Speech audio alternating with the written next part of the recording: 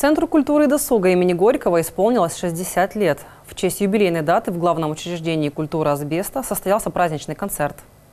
История Центра культуры и досуга имени Горького началась еще в далеком 1956 году. Сегодня это крупнейшее в городе культурное учреждение с богатейшей историей, традициями и достижениями.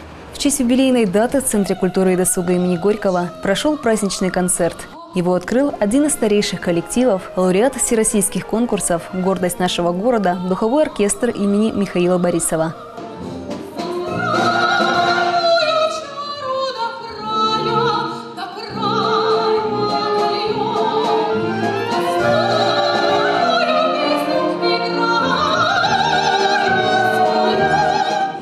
Зал дворца был переполнен. На юбилейный концерт пришли горожане, работники культуры, руководители города. Не мог пропустить такой праздник и почетный гражданин Асбеста, в настоящем первый заместитель председателя правительства Свердловской области Владимир Власов. Пользуясь случаем, я просто бы хотел выразить руководителю, всему коллективу и всем тем, кто занимается, для тех, кого Дворец культуры стал ну, не просто учреждением культуры, а, наверное, вторым домом, поздравить с юбилеем, пожелать новых творческих успехов, ну а коллективам, безусловно, поклонников, которые бы восхищались их творчеством, их, их, их искусством.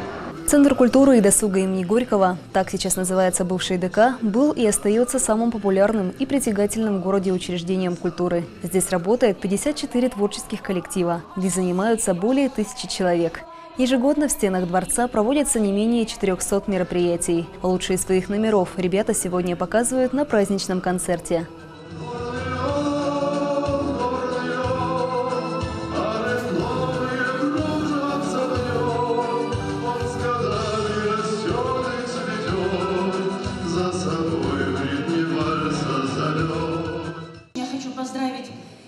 коллектив Центра культуры и досуга имени Горького и пожелать им вот что.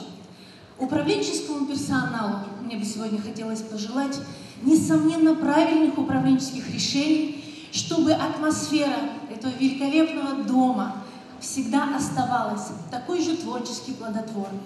А творцам, основному творческому составу мне бы хотелось пожелать не просто интересных идей, творческих идей, креативных, а самого высокого профессионального воплощения этих идей. За многолетний добросовестный труд коллективу Центра культуры и досуга имени Горького было вручено благодарственное письмо правительства Свердловской области. А руководители творческих коллективов были удостоены почетных грамот и благодарственных писем главы города.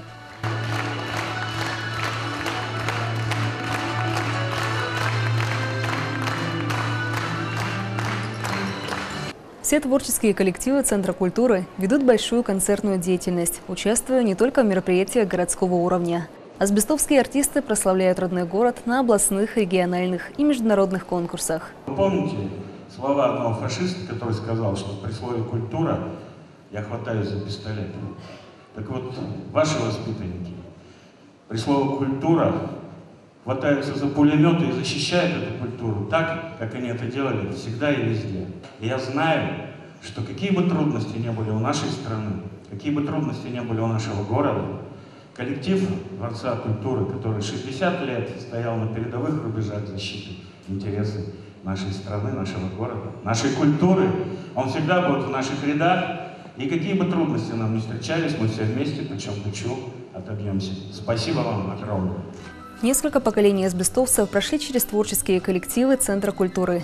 Для многих он стал первой ступенькой на пути в большую творческую жизнь. С годами появлялись и прекращали свою деятельность кружки и студии, менялись художественные руководители. Но жизнь дворца не замирала никогда. И в наше время здесь каждому таланту найдется свое место и дело по душе.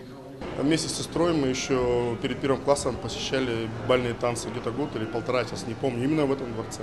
Не сложилось, но, к сожалению, ушел больше спорт, но тем не менее помню, как я сюда ходил. Для меня вот это, это здание, да, еще с тех времен эти колонны, это вот, ну, величие, то есть, ну, всегда вот прихожу, и это ощущение, как вот с первого класса, да, еще осталось, оно до сих пор у меня внутри где-то пробуждается при входе в этот уникальный дворец искусств.